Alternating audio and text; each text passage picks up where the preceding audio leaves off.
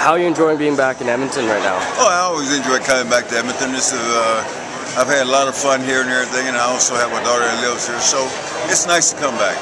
How much better does it make it that Saskatchewan's in the Grey Cup? Well, so with Saskatchewan being here, it makes it a lot of fun to be here and everything. And uh, you know, it uh, what you work for all year, the guys work for all year and everything, and now they're here, and the only thing that's left is uh, is to win the cup itself. Uh, what are you looking forward to most over the weekend?